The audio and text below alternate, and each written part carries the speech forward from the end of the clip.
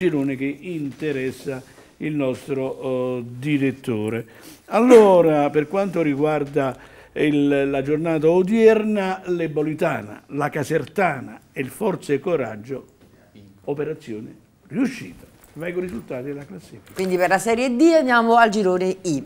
Ebolitana Atletico Nola 7 a 0, Acireale Cittanova 0-1, Messina e Forza e Coraggio 0-1, Modica Interreggio 0-0, Sapri Noto 3-1, Nissa Rocera 1-1. Rossanese Sambiase 1-0, Mazzara Marsala 3-4, Casertana Turris 1-0, mentre riposava Grecanica.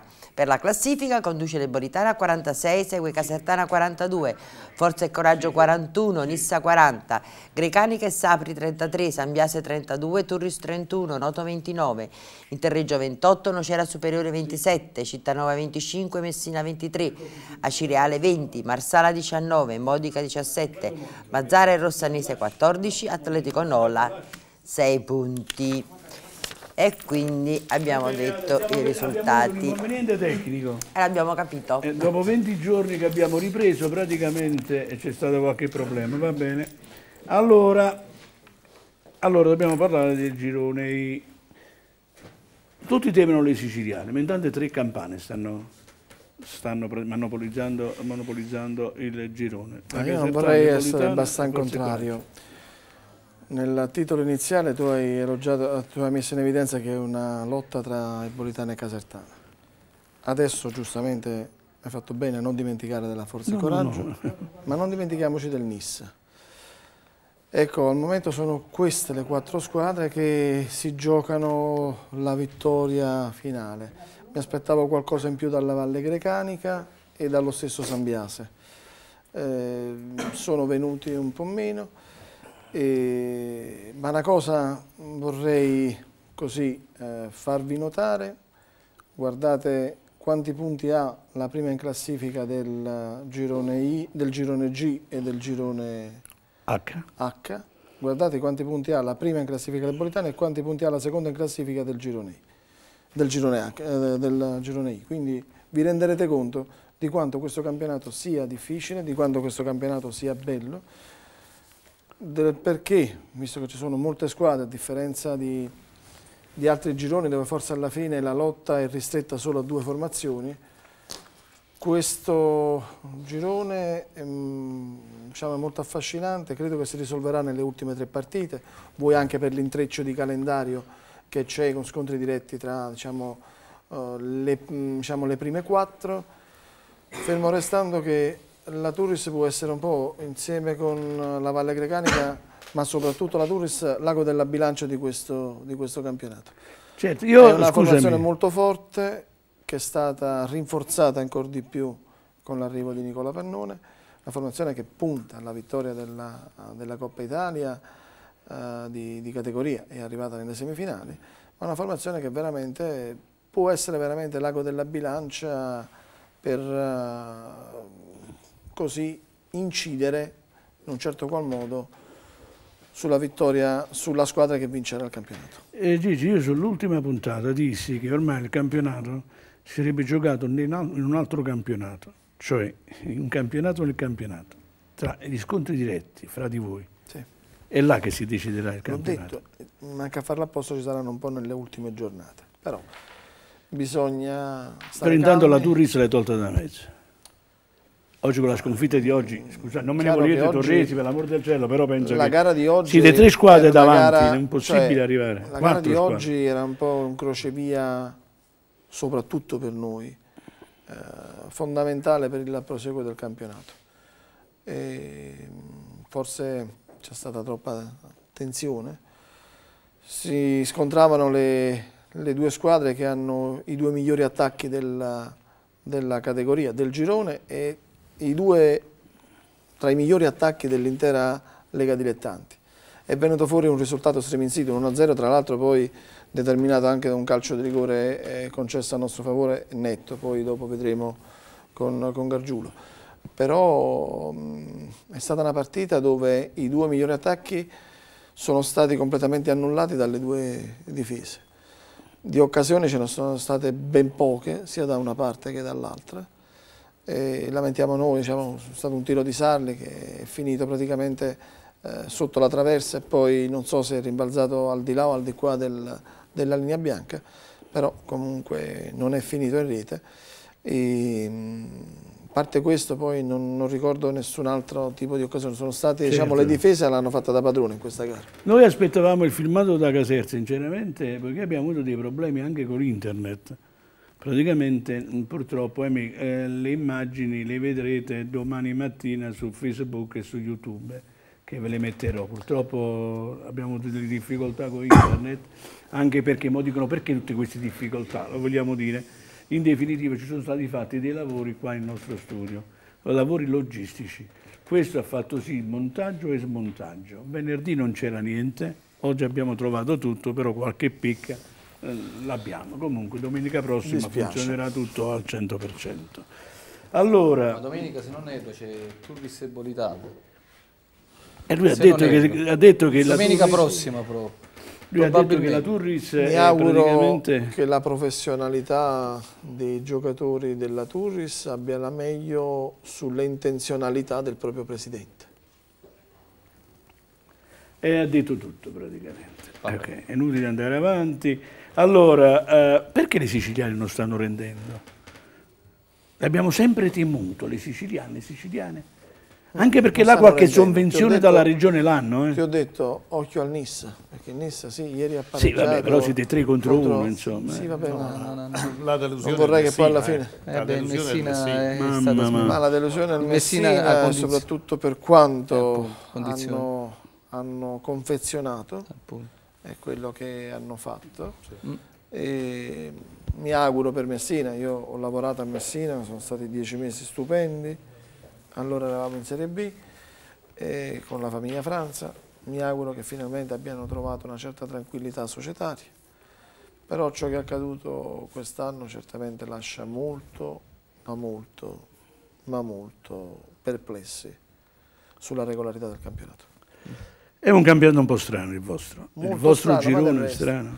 Una squadra in più. Il mio, primo, campionato, il mio primo campionato eh, sicuramente sarà l'ultimo in questa categoria ripeto, l'ho fatto perché soprattutto l'amicizia mi lega alla famiglia Tronco e alla famiglia Verazzo, ma ti dico un campionato veramente ehm, molto strano per certi aspetti, ma veramente poi affascinante, molto bello, anche perché ci sono almeno sette squadre sullo stesso livello. Io ho sempre detto che questo è il vero campionato di C2, girone C. Specialmente quest'anno. Soprattutto, soprattutto la, C, la C veramente è scarsa sì.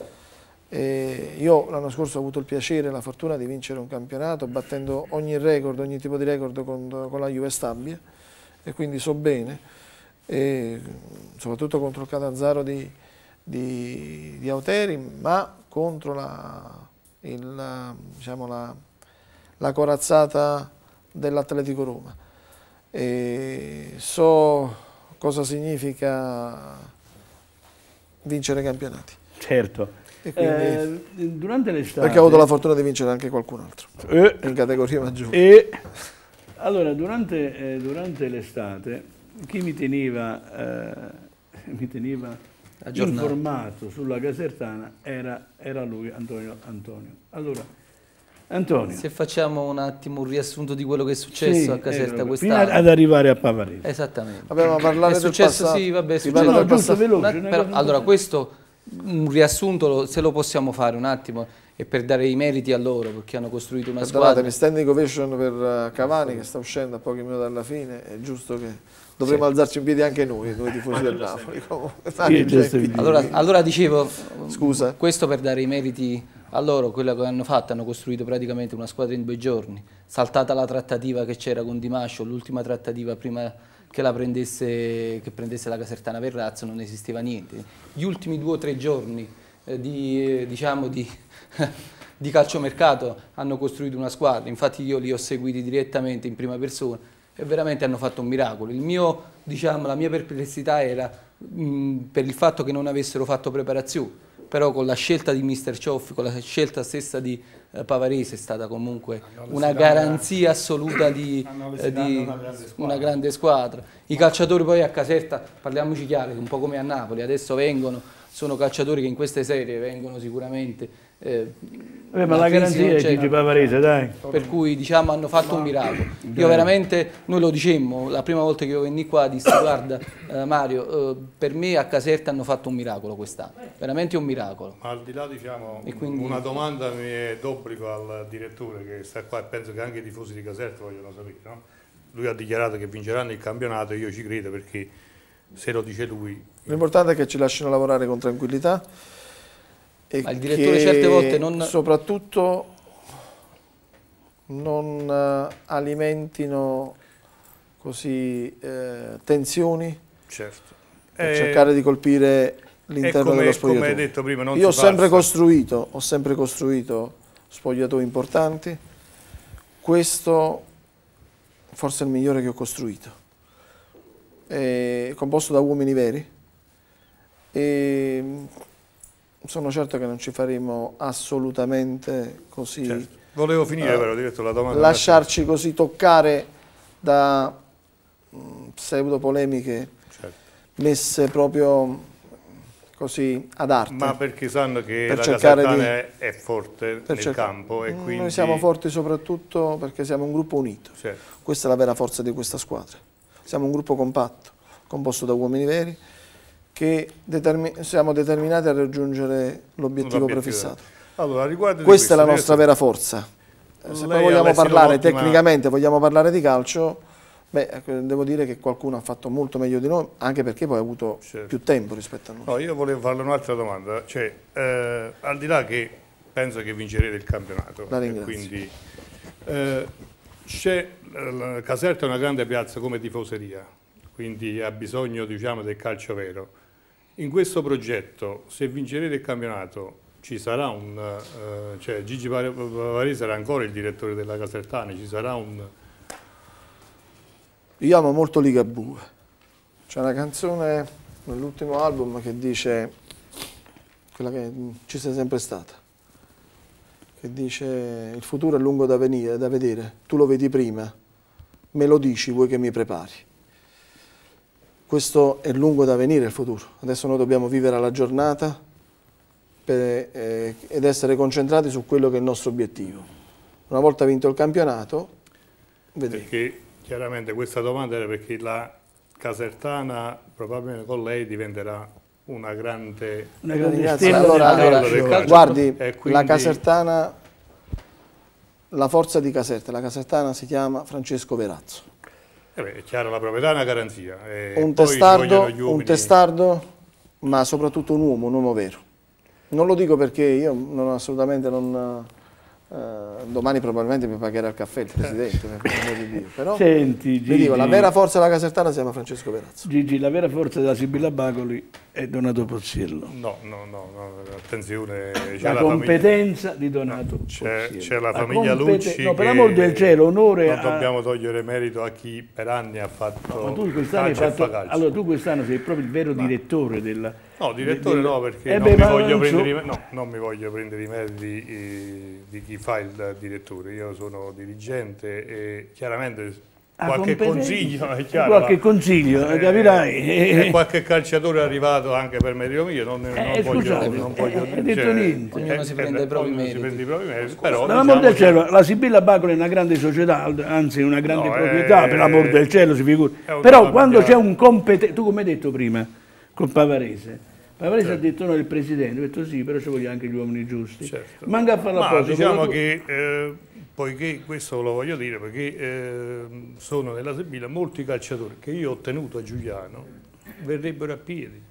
Eh beh, sei un grande signore, eh, questo lo cioè, sappiamo. Massimo Perna che sta a Treviso voleva venire con la Sibilla, poi è chiaro, poi bisogna anche vedere il discorso economico, perché noi siamo uno che non fa tante pazzie per, per i calciatori. Quindi, siamo abbastanza oculati, quindi al di là poi che verrebbero tutti, poi bisogna vedere un attimo quale, dove è chi è possibile portare. Una cosa è certa, quando seppero che lui sarebbe andato via da Cava dei Tirreni, e non a caso la Cavese sta nei guai più neri, e sarebbe andato alla Sibilla Bacoli, una ragione ci doveva essere. È una situazione, diciamo, a Cava dei Tirreni e io penso a parte i tifosi che hanno salvato la Cavese ed è merito esclusivamente loro, dopodiché poi c'è stato un folle, un pazzo, che si chiama Peppino Spadola, dove è voluto andare al capezzale che nonostante tutto quello che sta facendo, non farà economicamente per Dio, non passeranno mai, i soldi. Io mi auguro che si salverà sul terreno di gioco perché comunque hanno fatto, hanno fatto cose egregie. Ecco, una, una, squadra che nel mese di agosto non poteva